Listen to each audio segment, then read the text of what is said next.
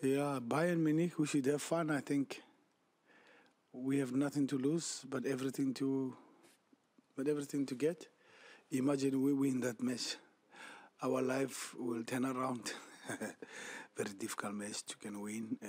Big team. Uh, the champions. They've won the cup. They've won the league. They've won the Champions League.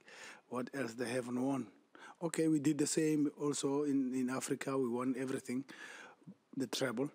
But um, they're Bayern. Bayern has got pressure. They must beat us. We don't have pressure. So we're going to have fun. Maybe frustrate them a little bit uh, and, and see how it goes. Would be nice to take them to penalties when it's 50 50.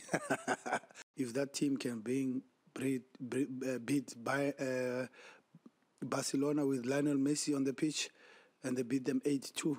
Who are we? So we are just here to have fun. So we did what we are supposed to. Tonight we are supposed to win.